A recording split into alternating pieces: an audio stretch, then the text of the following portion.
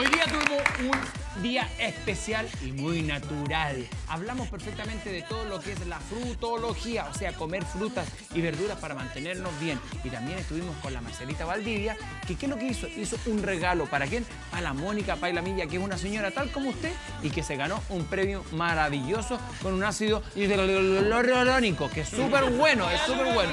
Y no lo voy a repetir porque me cuesta mucho decirlo. Y también hicimos esta receta que es un gratín de brócoli. Señor director, por favor, ponga la receta en pantalla en este momento, ahora Renault. Sabores vegetarianos, gratín de brócoli, un brócoli, un cuarto taza de harina, un cuarto taza de mantequilla, un litro de leche y una taza de avena.